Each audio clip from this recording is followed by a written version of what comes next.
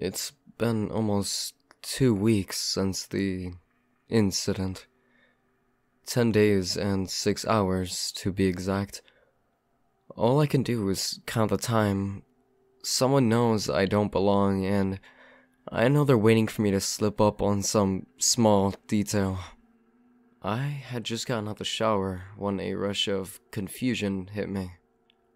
It was like I hit my head on the corner of a counter, but I was still conscious and there was no pain. I felt different. I called my girlfriend Angie to tell her how terrified I was about what just happened, and she didn't seem too concerned. She was busy at work, so I figured she was just preoccupied and couldn't focus straight. No big deal. She was able to calm me down enough to hang up and go about the night. I couldn't remember much. I didn't remember what happened that day or even the week before.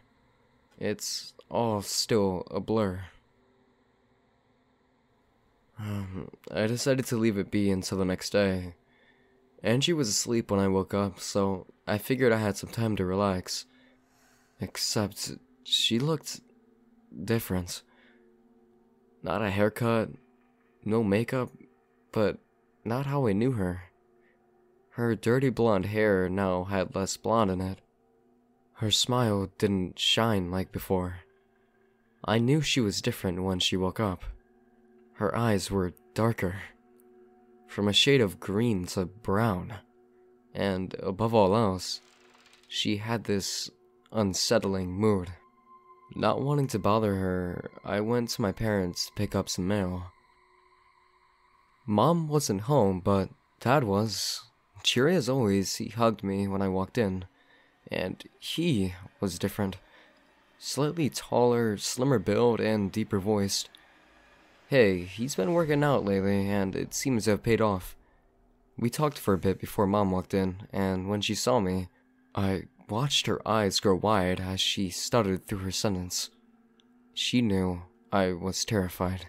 I didn't bring up the incident, and after her initial shock, Mom carried on. I could immediately tell her differences.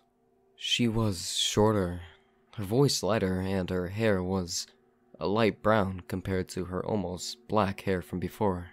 She had this unsettling stare towards me that no one else noticed. She knew she couldn't tell anyone.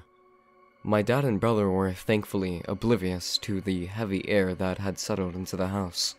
After the uncomfortable conversation, Angie texted me and asked if I wanted to go to her parents for dinner. I shot her a quick, uh, sure, before saying goodbye to my parents and quickly leaving. Mom stared at me from the kitchen window as I pulled away. When I got home, Angie was watching TV and asking how I was feeling. If I would have been honest and told her, I probably would have been involuntarily submitted into a mental health hospital. Who would believe anything I saw if I told them?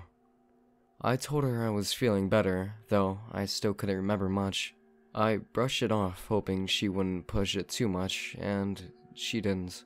When we got to her parents' house, they opened the door and welcomed us. Her parents had changed exactly opposite of mine. Her dad was shorter and had put on a little weight and a lighter voice. Her mom was taller, voice deeper, and darker hair. After going inside, I felt so out of place. Her family went on about their day, whilst I just sat here visibly uncomfortable. Angie's dad asked if I was alright, and I told him I was sore from work. The subject was dropped as we continued on with the night. When we arrived back home, Angie went to shower as I sat down to really examine our apartment.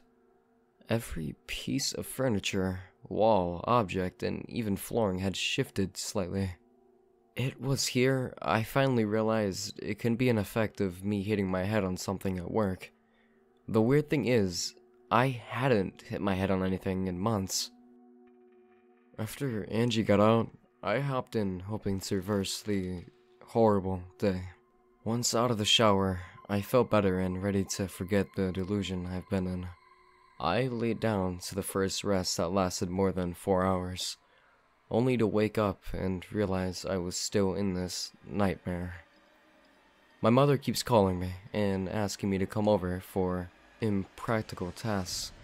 She seems to get more and more adamant that I go over there whenever she's there. I agreed to go over the next day after work just to stop the questions. I got to my parents' house and my mom was the only one home. Nervously, I asked what she needed help with. She told me something was going on with her stove, and I asked if I could help move it out. But once we got to the kitchen, she sat down at the table and asked me to join her. I slowly walked over to the table and took a seat. She asked me something disturbing. Who are you? It took me by surprise. I didn't expect her to be so blunt with it. I paused for a moment before replying. What do you mean? Her eyes narrowed for a second before returning to normal with her reply of, Oh, just wondering. Her off centered smile sent chills up my spine. We proceeded with pulling the stove out so she could retrieve whatever it was that she lost. Then I went on my way home.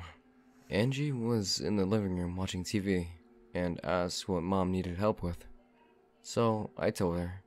Of course, I didn't mention the weird conversation, but she knew I held back and didn't push any further. Everything continued on as normal before bed, and once we were laying next to each other, I caught Angie staring at me. Blank expression, no smile, almost like she was looking right through me. I don't know if I'll last much longer here, and Angie's starting to get suspicious of me too.